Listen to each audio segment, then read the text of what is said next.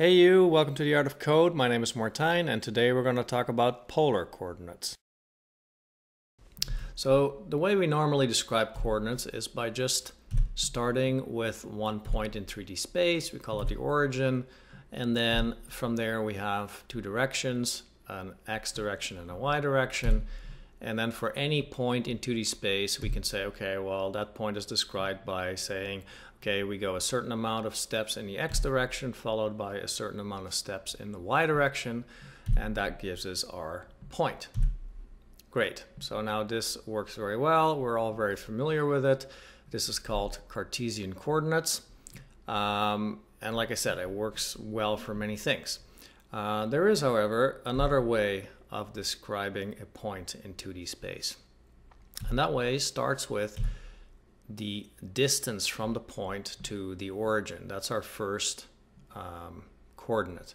And now for our second coordinate, if we just imagine a circle that is centered around the origin and has a radius of distance, um, then we can get our second coordinate by measuring the angle between either the x-axis or the y-axis.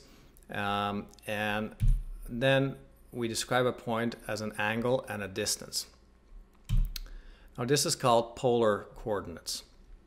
And you might ask yourself, well, why in the world do we need this convoluted way of describing uh, a point in space? Cartesian coordinates work just fine. And that is true, but for some things, like for instance this flower or these butterflies, polar coordinates are a lot easier to work with. So now the question becomes, how do we get uh, how do we get these polar coordinates? So how do we go from Cartesian, because usually that's what we that's what we have. Uh, how do we go from Cartesian to polar? Or how do we go from an xy to an angle and a distance? Now the first one, or actually the second one, the distance is quite easy because the distance is just the length of this vector, right? And we've calculated many distances before, and we just have this length uh, function for that. Great. Now for the angle, uh, it's actually a little bit more complicated, uh, but luckily we have uh, a function for that that takes care of the, uh, of the complications and does it for us. And that function is called the atan function.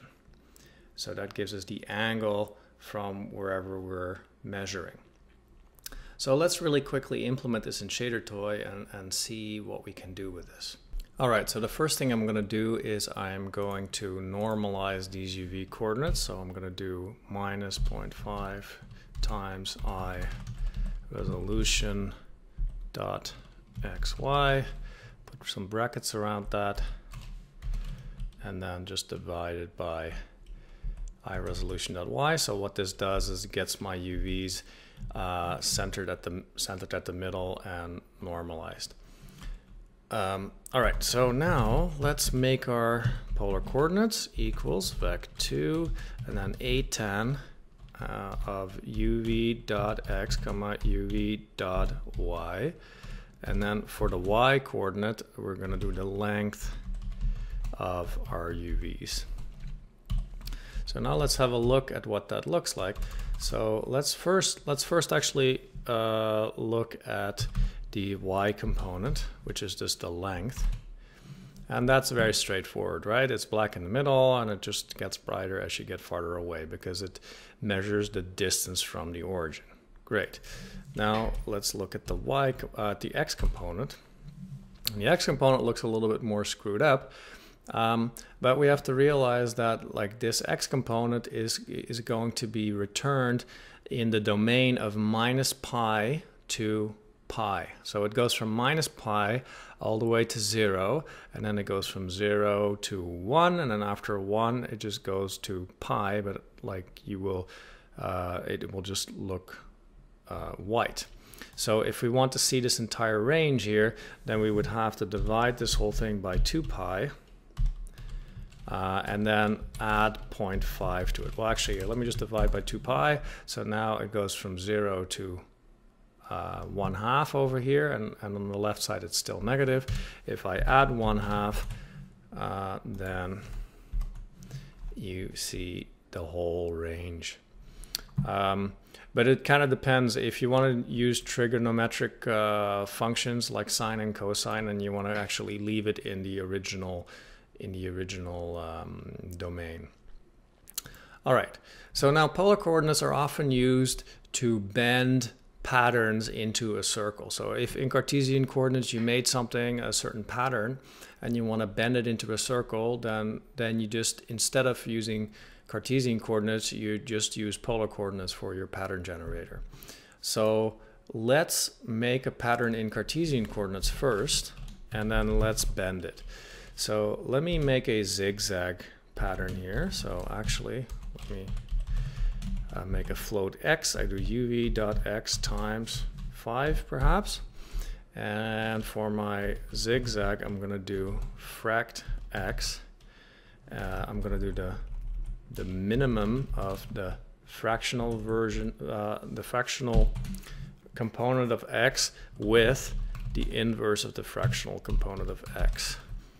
Um, well, maybe I didn't say that right, but uh, that's how you make a zigzag. So now let's let's see what that does. So um, uh, let's make a use a smooth step for this, and I'm going to do zero comma point one comma um, m minus uv dot y. Let's see what that does. Uh, that gives me a big fat error because I forgot a decimal point over here. All right, so that gives me a zigzag pattern. And let me, um, let me also shape that pattern a little bit. So I'm gonna do times 0.3 to make it smaller. And then I'm gonna uh, add some value to move it away from the zero line because right now it's based on the zero on the y equals zero line. I don't want that. I want to move it up a little bit. All right, so now let's see what happens if we, instead of our UV, our, our Cartesian coordinates, we, we stick our polar coordinates in there. So over here I can just say uh, UV equals, and then I have to um, first, well, if I just do this, st uh, equals st, let's see what that does.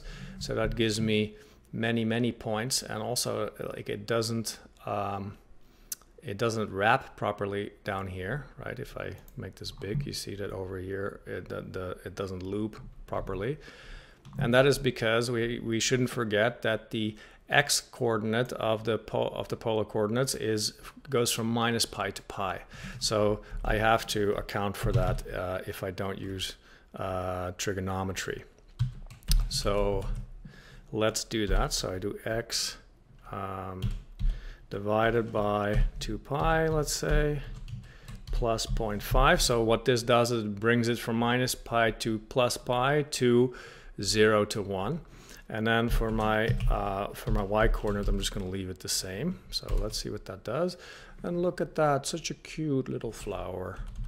Uh, now, so now I can have, uh, like I can add more points to the flower. I could, uh, I could play around with this here to shape it uh, in different ways. Um, and yeah, so it's kind of cool. And if you wanted to rotate the flower in, in, um, uh, in polar coordinates, that is quite easy. So I can just go plus i time over here. Let's see what that does.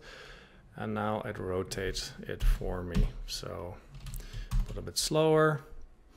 Um, and yeah, so there's there's kind of uh, like cool tricks you can you can add. So you could also, for instance, um, make it twist by just adding the y component to here and now you have a twisted shape. How cool is that? So that was really quickly how to do polar coordinates.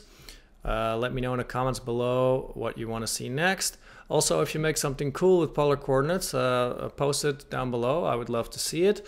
And either way, I will see you next time.